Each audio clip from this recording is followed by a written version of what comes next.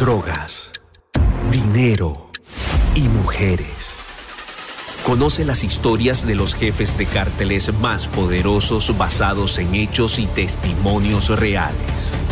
Mundo Narco recorre la vida de los grandes líderes de la mafia.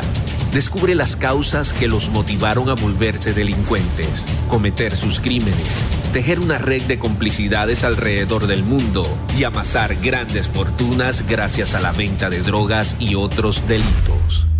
¿Estás listo para entrar al mundo narco? Prepárate para un viaje a las entrañas del crimen organizado.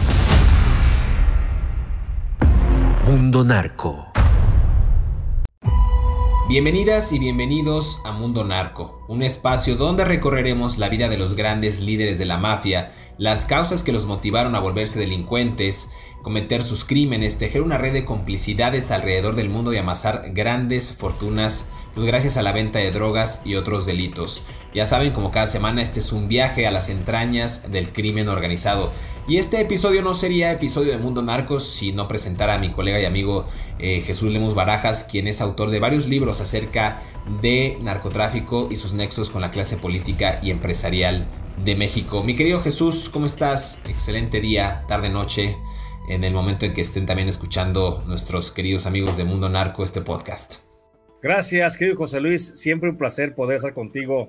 Gracias por esta posibilidad de platicar en este mundo narco los secretos de la mafia. Siempre agradecido por esta posibilidad y bien contentos justamente comenzando aquí esta jornada. Esta jornada, para la gente que no lo sabe, bueno, estamos grabando varios episodios en, un mismo día, entonces eso implica eh, nuestra vanidad también cambiarlos de atuendo para darles una mejor, este, una mejor calidad de, este, de este propio contenido que estamos haciendo semana a semana. Pero ustedes no se dan cuenta, ya revelamos el secreto, pero nada más para que vean eh, diferentes eh, outfits, diría la, la chaviza. Así es, así es, querido José Luis. El chiste es que tengamos que platicar y tengamos que develar, los secretos de la mafia de manera muy precisa. Y qué bueno que la audiencia nos sigue y nos, y nos sigue verdaderamente en estos espacios. Claro que sí. En esta ocasión eh, nos toca hablar de un personaje que a mí en lo personal me apasiona bastante porque hablamos en el episodio pasado de Enedina Arellano Félix, una mujer que revolucionó de alguna manera el mundo del narco y estos modus operandi que tenían digamos, la vieja práctica o la vieja usanza de, literal como de vaqueros, de estar matando gente nada más en una especie de western. En este caso, Sandra Ávila Beltrán, la reina del Pacífico, es eh, el, tema central de este podcast en esta ocasión. Una mujer narcotraficante mexicana, eh, la cual se dio a conocer bastante en, algunos de los episodios más álgidos del, narcotráfico en México. Eh, dicen que su tío es Miguel Ángel Félix Gallardo, el jefe de jefes, pero hay datos más específicos de esta mujer, más allá del tema de que nació en una familia de contrabandistas del estado de Sinaloa, me parece que sus años de juventud, su belleza eh, exuberante, era una mujer que levantaba pasiones eh, por, donde, por donde pudiera ella, eh, digamos, relacionarse en el mundo del Lampa. Yo tengo la fuente fidedigna y, digamos, testimonios muy cercanos a ella que uno de los grandes capos de la droga estaba y sigue enamorado de ella. Eh, me refiero a Rafael Caro Quintero, quien la persiguió fervientemente porque la consideraba, eh, digamos que el amor de su vida, ¿no? Y lo digo con todo respeto, pero es algo que, que pues está ahí y que no, no se puede mover. Pero es una mujer pues que levantó tanto pasiones, pero también levantó mucho de las organizaciones criminales y gestionó de alguna manera para que éstas funcionaran al lado de muchos de los, de los grandes líderes, mi querido Jesús. ¿Qué podemos empezar a hablar de ella para ir desmenuzando este tema que a mí me... Bueno, es que, es que hablar de Sandra Ávila Beltrán es hablar justamente como de, de otro mundo, de otro mundo por una sola razón, mi querido José Luis, lo acabas de decir de una manera muy precisa. Creo que la belleza de Sandra Ávila, que digo, a su edad, a la edad que tenga justamente hoy, pues no es nada despreciable, ¿eh? es una mujer de, sumamente hermosa, una mujer, bueno, que tiene sus atributos y que no por ello, no nada más eh, grandes narcotraficantes como Rafael Caro Quintero, como en su momento el propio Señor de los Cielos, quedaron prendidos de esa belleza, ¿eh?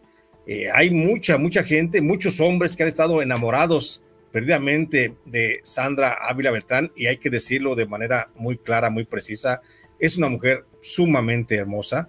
Eh, Bueno, pero también hay que reconocer que también es una mujer sumamente inteligente, ha sabido navegar en el mundo del narcotráfico. Ella viene, tú decías precisamente bien, de, los registros que hablan de una familia de contrabandistas allá de Mexicali, eh, que es donde ella nace, pues tiene, fíjate, ella tiene la sangre de grandes familias de narcotráfico que van amalgamándose ahí en las relaciones sociales en Sinaloa, de alguna forma, pero que ella, en, su, propia esencia, tiene la sangre de narcotraficantes como Miguel Ángel Félix Gallardo, que finalmente es el tío de su mamá. Su mamá es María Luisa Beltrán Félix y la señora Beltrán es también prima de los eh, hermanos Beltrán Leiva, de Alfredo, de Héctor y de, bueno, de Arturo, y, pero también por el lado del papá, el papá de Sandra Ávila es Alfonso Ávila Quintero.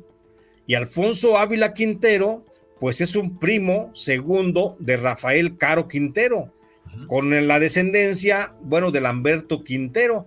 Entonces, ahí en Sandra Ávila yo podría decir como que confluyen, confluyen las sangres de todas las eh, familias de grandes narcotraficantes y pues algo tenía que sacar la señora, ¿no? Algo tenía que sacar en ese ímpetu de, seguir en el mundo del narcotráfico, pero sobre todo yo no, no quito el dedo del renglón ese tema del enamoramiento de Sandra Ávila, digo, del enamoramiento de Rafael Caro Quintero hacia Sandra Ávila, que a pesar de ser prácticamente sería su tío, su tío abuelo, Rafael Caro Quintero, pero se enamoró de, ella. Y en alguna ocasión, cuando yo estuve en la cárcel, eh, platicando, dialogando con Rafael Caro Quintero, que me tocó, para los que no saben, yo estuve en la cárcel del 2008 al 2011, estuve preso, perseguido por el gobierno de Felipe Calderón, fui acusado de ser eh, un miembro del crimen organizado, cuando lo único que hice fue denunciar las relaciones que tenía la hermana de Felipe Calderón, Luisa María Calderón Hinojosa, con la familia michoacana. Eso me llevó a la cárcel y fui tratado como un reo de alta peligrosidad. Y allí en la cárcel, como reo de alta peligrosidad, fui asignado al sector de los más peligrosos en la cárcel de Puente Grande. Y ahí estuve al lado de Rafael Caro Quintero. En la celda, yo estaba en la celda 149 y Rafael Caro Quintero estaba en la celda 150. Entonces, estábamos, éramos vecinos de celda, platicábamos de manera frecuente y en algunas de esas ocasiones en las que llegamos a platicar con Rafael Caro Quintero sobre amores y pasiones y mujeres, yo tratando de buscar las relaciones de Rafael Caro Quintero con la jalisciense de la que estuvo enamorada con Cosío, con Sara Cosío, pues resulta que platica Rafael Caro Quintero que había una mujer que lo tenía sumamente apasionado y enamorado y era esa justamente Sandra Ávila Beltrán. Y comentaba y hablaba maravillas de Sandra Ávila, comentaba de la sagacidad que tenía para los negocios, eh, aunque él reconocía, reconoció en algún momento que no sabía si estuviera relacionada con el narcotráfico o no, pero que sin duda alguna era una mujer empresaria que se había dedicado a diversas actividades eh, lícitas allá en su región, en la región de Sinaloa, pero siempre hablaba con un gran cariño que se le desbordaba a Rafael Caro Quintero por los ojos cuando hablaba de Sandra Ávila. ¿Y quién no, mi querido José Luis? ¿Quién no? No, ¿quién no? Es, es una mujer que a sus 62 años es una mujer híjole, la, no, quiero, no quiero desvelar o revelar muchas, muchas cosas por ahí, ¿verdad? Pero una mujer con un carácter, con una firmeza.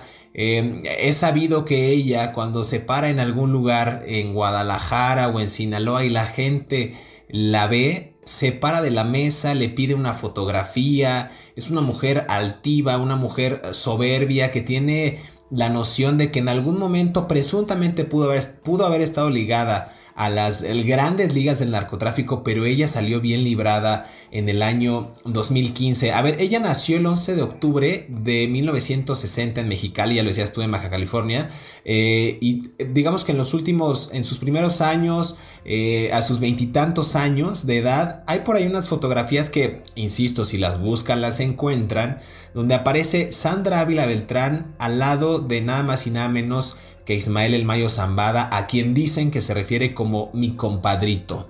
Ella tuvo y tiene, supongo, una muy buena relación con el señor del sombrero de lado, como le dicen.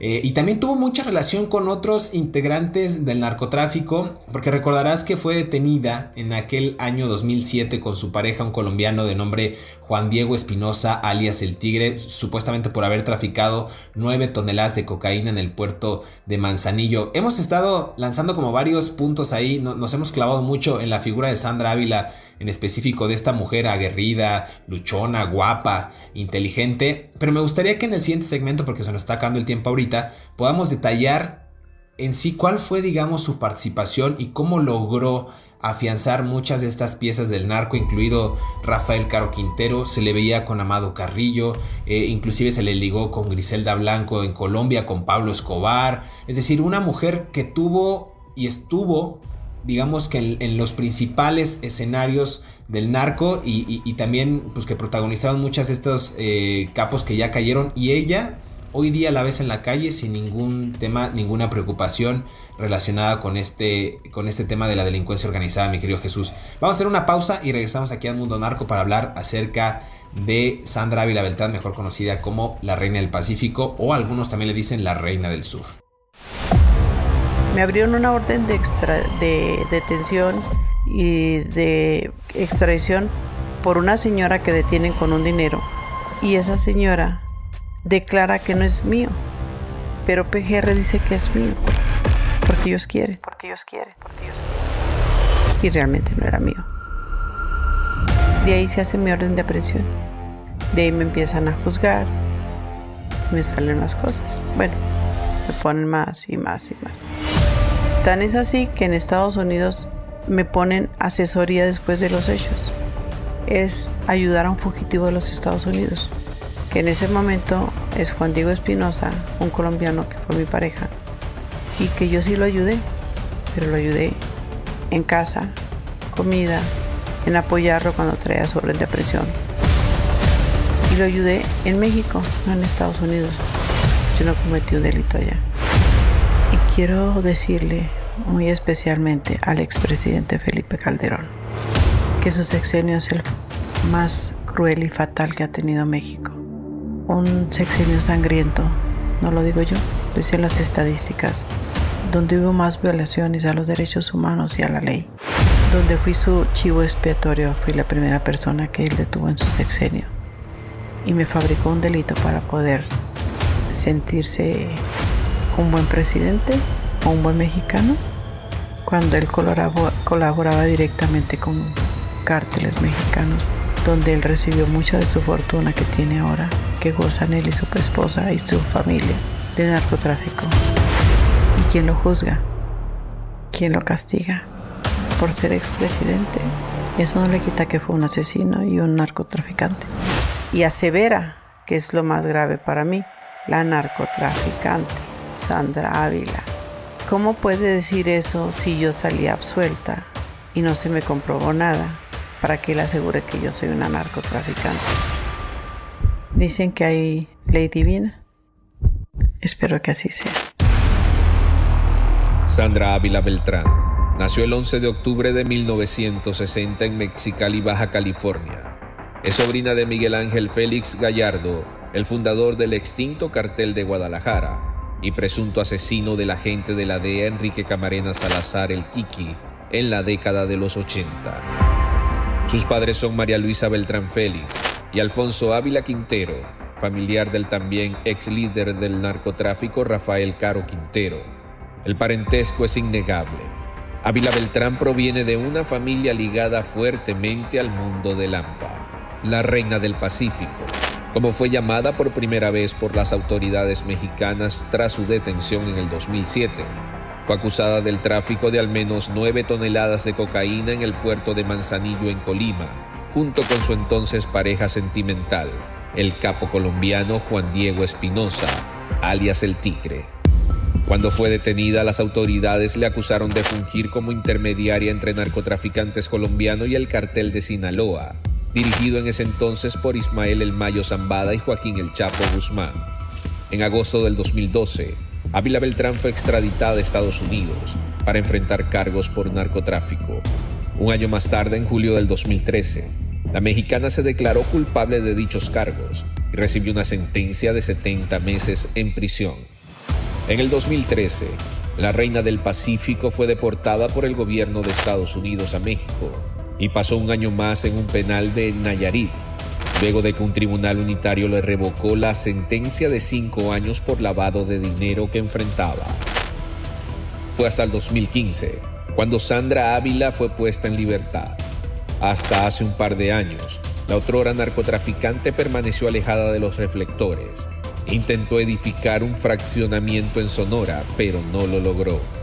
Actualmente se dedica a las bienes raíces y ha lanzado una línea cosmética de cremas para prevenir el envejecimiento, aunque muchos aseguran que ese dinero proviene del crimen organizado.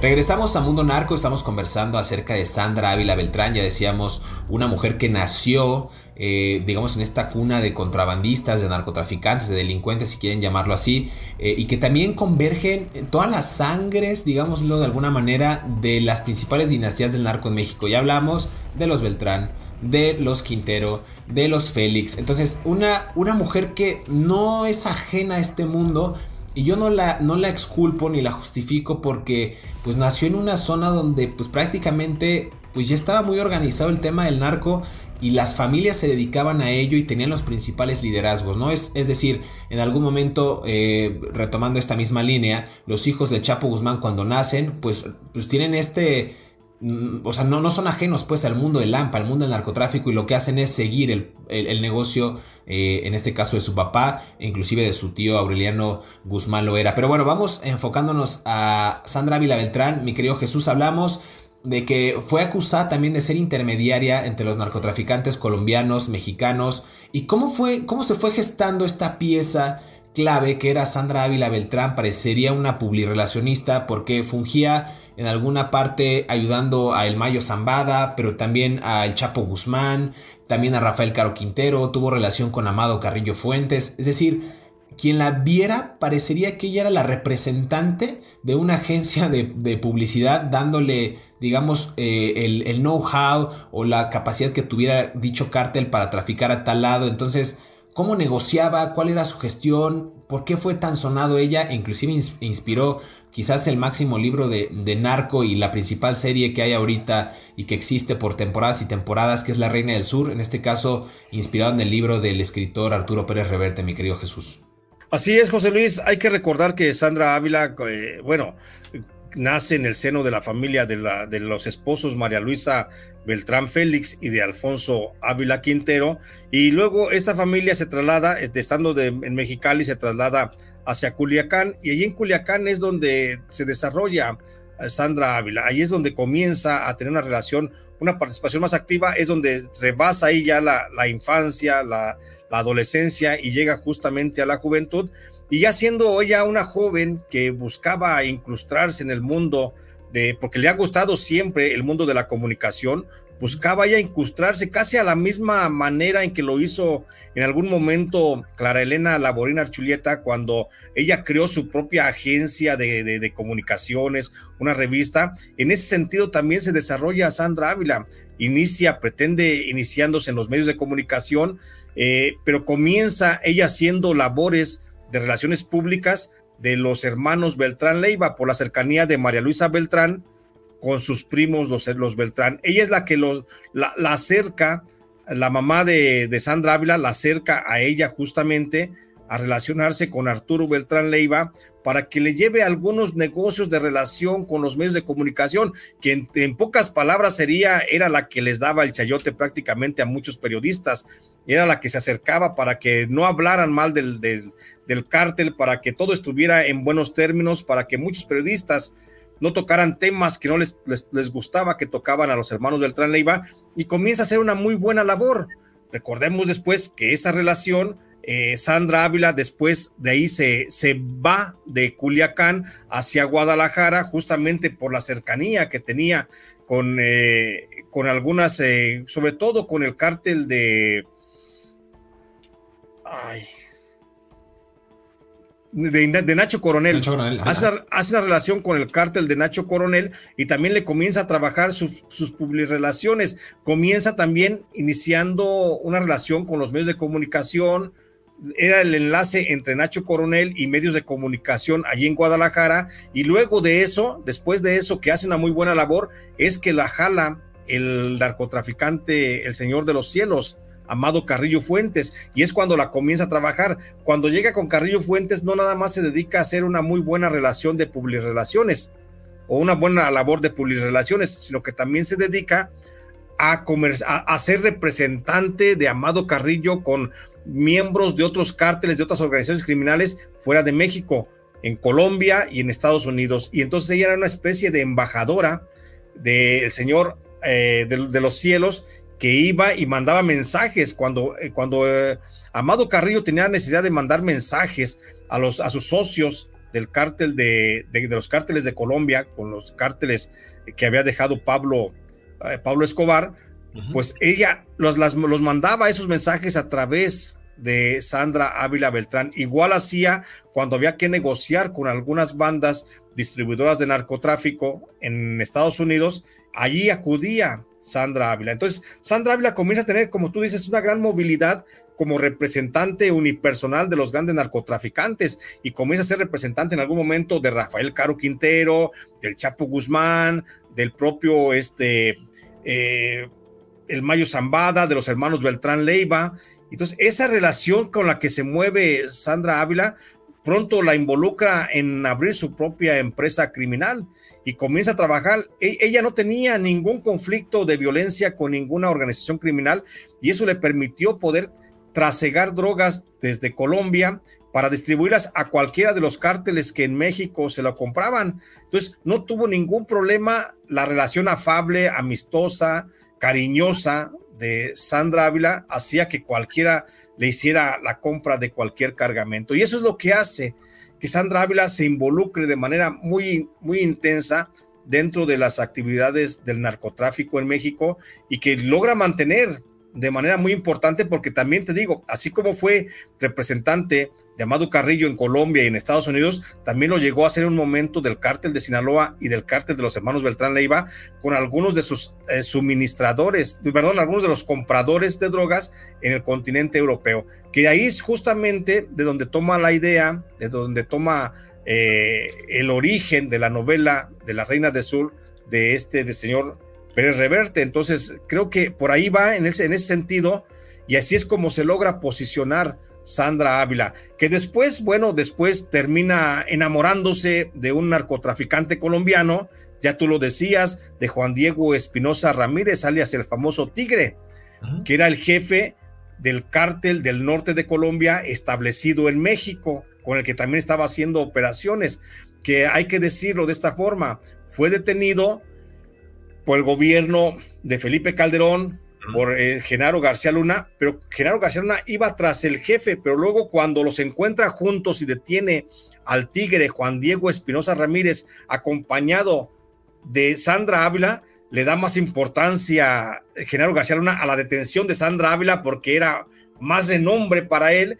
pero fue incidental su detención porque él iba sobre Juan Diego Espinosa Ramírez, que a final de cuentas no le representaba mucho mucho revuelo mediático y por eso mejor prefiere presentar la detención de la eh, por la incautación de, las, de, la, cocaína que ya mencionabas, presenta a Sandra Ávila y le arman un, gran escándalo que está más bien eh, pues armado en nada, al puro vapor, nada más para que se vea en los medios, pero realmente el narcotraficante por el que iban era Juan Diego Ramírez, pero tenía más peso mediático la propia Sandra Ávila. Imagínate en esos años cuando capturan a una mujer eh, que le decían ya la reina del Pacífico y tenía grandes alianzas y era, digamos, promotora de varios narcotraficantes, como decías, pero a su vez era pareja sentimental del tigre que era buscado eh, en Colombia y en México y por supuesto en Estados Unidos por estas nueve toneladas que encuentran en, Manzanillo, pues claro que la novela era perfecta y cómo salió, pues al puro estilo de García Luna. Entonces, digamos que promover este tipo de actos, tú lo, tú lo, conoces muy bien, tú lo has visto bastante, eh, lo viste bastante seguido en, estos episodios de, del narcotráfico, inclusive cuando te inculparon a ti de manera injusta, pues de eso se trata trataba, ¿no? Y déjame agregar algo importante en este caso de Sandra Ávila, porque, insisto, me apasiona el tema de, esta mujer, porque también rompió en algún momento estos cánones donde el hombre imperaba y, y, dirigía la organización criminal, insisto, como en el caso de Enedina Arellano Félix. Pero a ver, aquí hay algo bien interesante. Una mujer que tiene una relación, digamos, de cordialidad, de negocios, con Amado Carrillo Fuentes, con Ismael El Mayo Zambada, con Joaquín El Chapo Guzmán, con Juan José Esparragosa Moreno El Azul, y que al final del día ella se alía con un líder de, del narcotráfico colombiano y logra también ella hacerse presente en, este, en esta jugada o en este mapa criminal y no le pasa nada. A ver, Tienes a una mujer que tiene los pelos de la burra en la mano, como decimos. Es una mujer que tuvo la capacidad de generar contacto, de generar confianza en esos años donde el narcotráfico era más de palabra que de acuerdos tácitos o de acuerdos escritos con, eh, con, el gobierno de México o con otras organizaciones rivales. Entonces, hemos visto que además una cosa, la capturan y la extraditan ahora sí que de facto y, sin papeles ni nada de una forma muy arbitraria a Sandra Ávila Beltrán. Y cuando regresa ocurre algo bien curioso en el año 2015 porque es una mujer que llega a territorio mexicano y a diferencia de otros capos de la droga,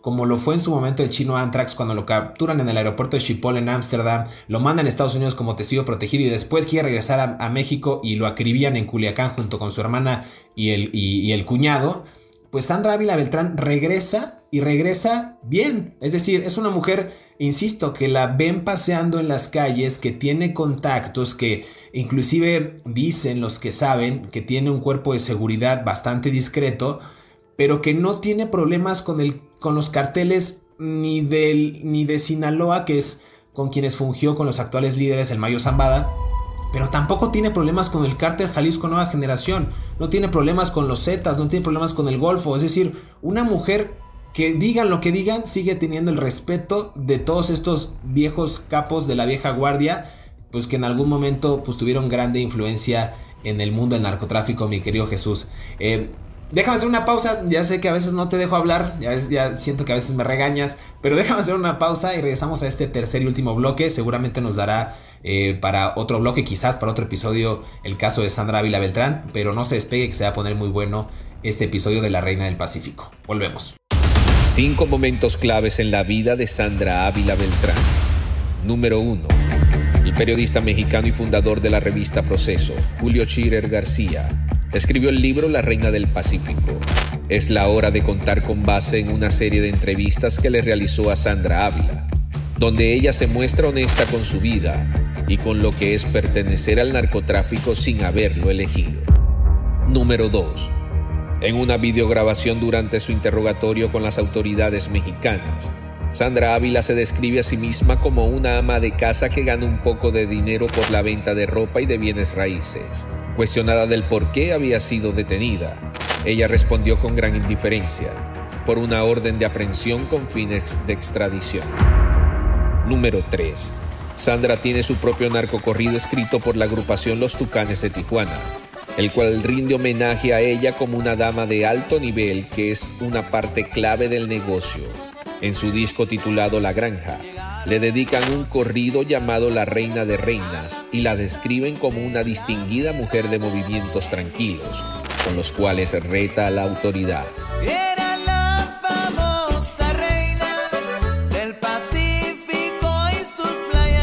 Número 4. En la serie Narcos México, donde aparecen personajes como Miguel Ángel Félix Gallardo, Ernesto Don Neto Fonseca Carrillo y Amado Carrillo Fuentes, por mencionar algunos. También figura Ávila Beltrán, interpretada por la actriz Teresa Ruiz. Es uno de los personajes principales en la primera y segunda temporada. Número 5. Luego de salir en libertad, la reina del Pacífico se mantuvo alejada de los medios de comunicación. Pero en el 2022 hizo su reaparición en diversas plataformas de redes sociales como TikTok, Facebook e Instagram, desde donde comparte detalles de su vida. Regresamos a Mundo Narco, estamos conversando acerca de Sandra Ávila Beltrán, la reina del Pacífico, algunos también la conocen como La Reina del Sur por esta eh, emblemática serie de Netflix eh, que lleva este mismo nombre, también por la novela de Arturo Pérez Reverte eh, que lleva también el mismo nombre. Entonces, un caso emblemático, una mujer que decíamos nació en esta cuna del narcotráfico entre contrabandistas, pero también una mujer que supo relacionarse y publi relacionar a las bandas criminales, a los carteles de la droga y sus principales líderes, tanto en los medios de comunicación. Ojo, una acotación nada más, ella estudió periodismo, no se tituló, pero por ahí fuentes me dijeron que está a punto de titularse y que quiere hacerlo antes de que siga pasando el tiempo. Mi querido Jesús, el último bloque para ir afianzando más eh, este, este episodio que me parece bastante bueno. Se casó dos veces esta mujer, sus dos maridos irónicamente pues comandantes de la policía antidrogas que después se volvieron también traficantes. Eh, ambos fueron ultimados por asesinos a sueldo con el cuchillo por la espalda, dicen algunos expedientes. También hay algunas eh, autoridades que dicen que su ascenso en el poder, digamos en este mundo de las drogas, se debió gracias a su físico, pero yo no me iría tan banal. O sea, sí es evidente que era una mujer eh, muy hermosa, es una mujer muy exuberante, pero aquí si no tienes tu capacidad para los negocios estando en el mundo del narcotráfico, pues realmente no eres nadie, ¿estás de acuerdo? Totalmente de acuerdo, querido José Luis. Creo que no solamente cuenta la belleza de Sandra Ávila, sino más bien también la sagacidad y sobre todo los servicios prestados a otros grupos del narcotráfico, como fue el caso que hizo, pues como ya lo decíamos ahorita en el, en el corte anterior, el trabajo que hizo para el cártel de los Beltrán Leiva, para el cártel de los, eh, eh, pues de los propios Arellano Félix, incluso para el cártel de Quintero, de, Rafael Caro Quintero y para el cártel de Sinaloa. O sea, toda esa labor que hizo la señora Sandra Ávila Beltrán, pues de alguna forma tenía que ser atribuida y por esa razón, por esa razón una vez que termina su encarcelamiento, después de que fue detenida al lado de su pareja sentimental, Juan Diego Espinosa Ramírez, el famoso Tigre, jefe del cártel del norte de Colombia, eh, pues termina inmaculada, ni siquiera fue eh, sancionada, fue totalmente absuelta de los cargos de narcotráfico por las buenas relaciones que ella tiene o que llegó a tener, no solamente con los cárteles, sino con el propio gobierno mexicano.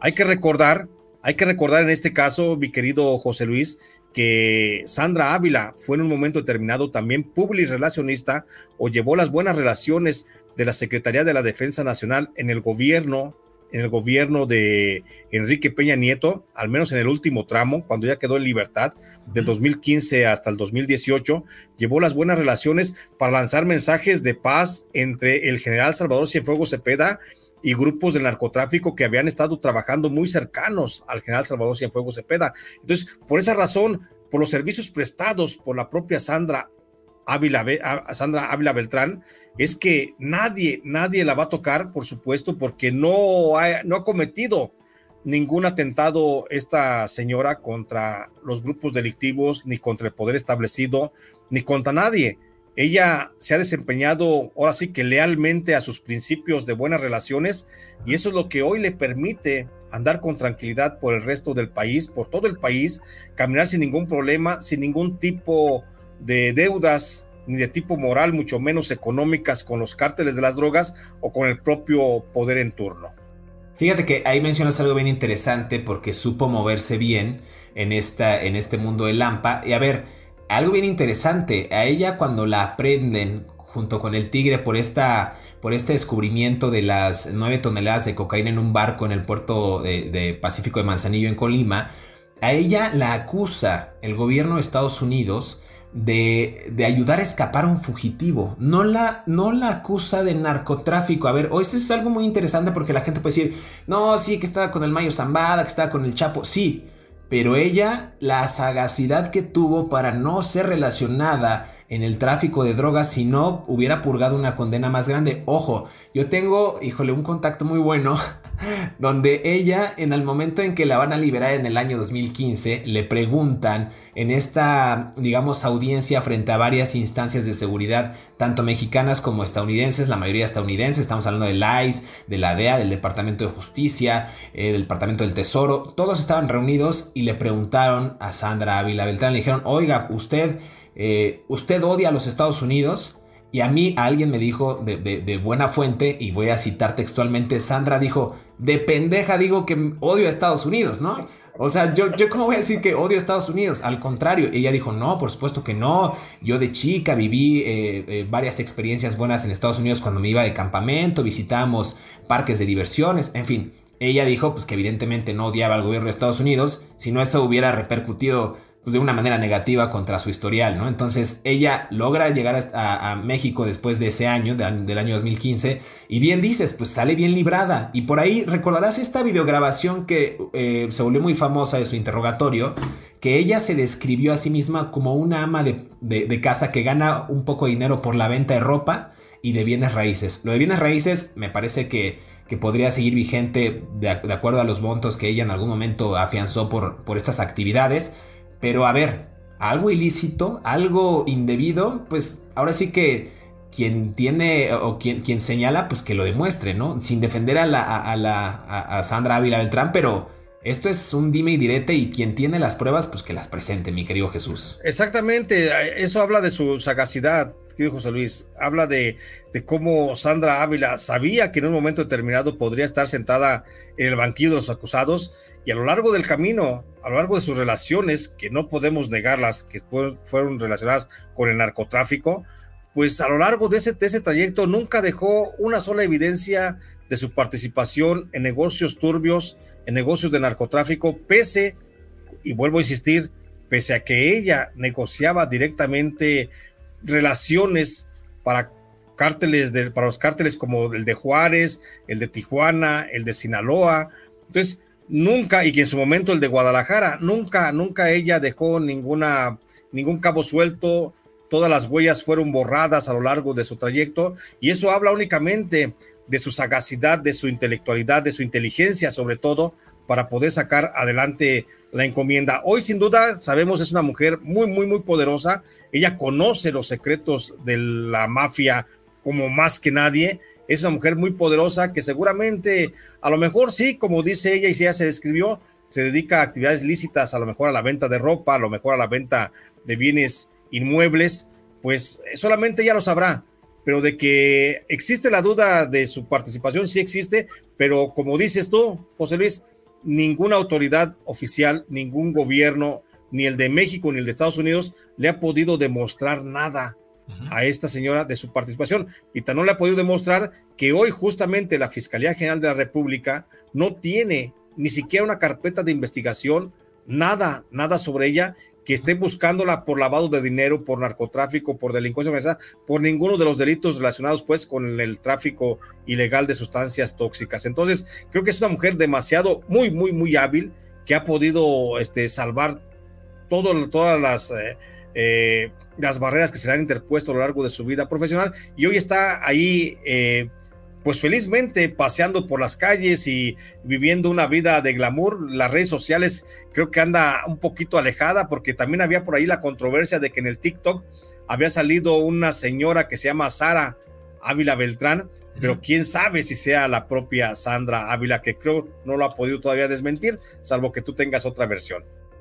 Pues eh, las redes sociales que ella abrió, me parece que eh, algunas sí son reales, otras no. Tú sabes perfecto que en este mundo digital, pues tú puedes crear una cuenta y decir que es el presidente de la República, cuando evidentemente pues eres eh, un simple pelado como, como yo, un simple mortal, mi querido Jesús. Déjame regresar nada más al, tema que te comenté del video, donde ella decía que vendía ropa y bienes raíces.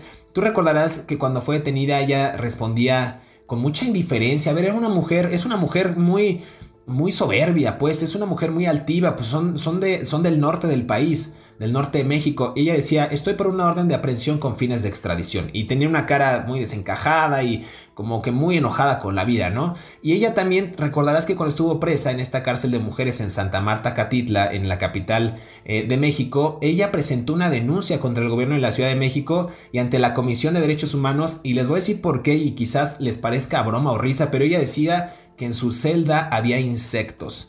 ¿No? O sea, le tocaron insectos, ¿no? Le tocaron unos ratones tamaño bestial que a veces hay en las prisiones tanto de México como de Estados Unidos, ¿no? Y también ella reclamaba que le prohibían introducir alimentos de los restaurantes y que eso violaba sus derechos. A ver, Era una mujer que evidentemente, si ustedes le dan esta lectura, que estaba acostumbrada a lo mejor de lo mejor. Entonces la, la, prenden, va a una prisión de, de, mujeres donde el trato es evidentemente indigno.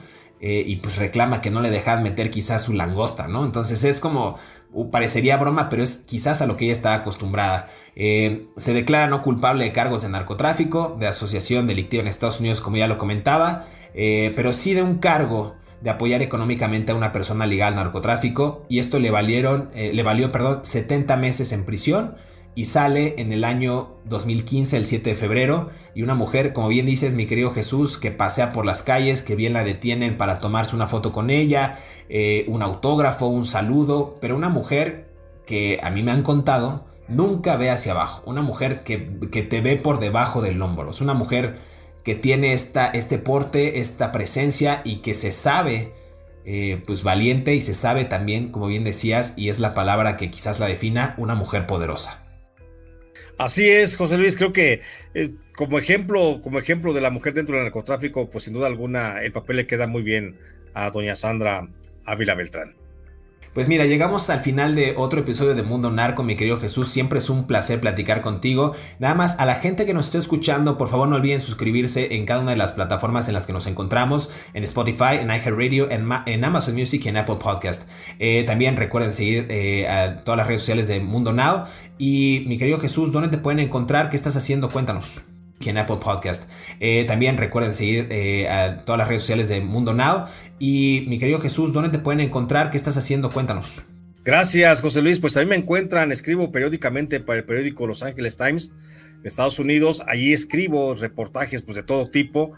Ahí, me encuentran todo lo, que escribo. Eh, estoy también publicando bueno, estoy trabajando ahorita en nuevos proyectos editoriales, tengo 11 libros publicados, cualquiera de los 11 libros los encuentran en las, en las eh, librerías del país. Eh, el libro más reciente, que todavía está a la venta, ahí con mucho auge, es El Fiscal Imperial.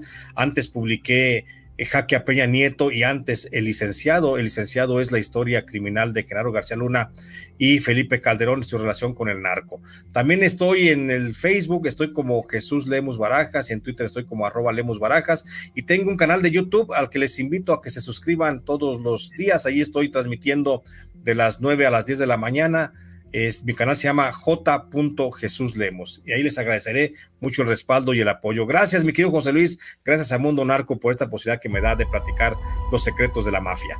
No, gracias a ti, mi querido Jesús. A mí me pueden encontrar en todas las redes sociales como Montenegro J. Luis o José Luis Montenegro. Si gustan estos temas de narcotráfico, en específico de esta generación de jóvenes capos que seguramente van a irrumpir más en el mundo del AMPA, te pueden descargar Narco Juniors, los herederos del poder criminal en todas las plataformas digitales. También escribo de manera periódica en el diario The Independent en español y trabajando en proyectos editoriales también como dice mi querido Jesús, ahí tratando de hacer un poco de ruido y pues gracias, no se olviden eh, de escucharnos en el próximo episodio de Mundo Narco, Los secretos de la mafia. Hasta pronto.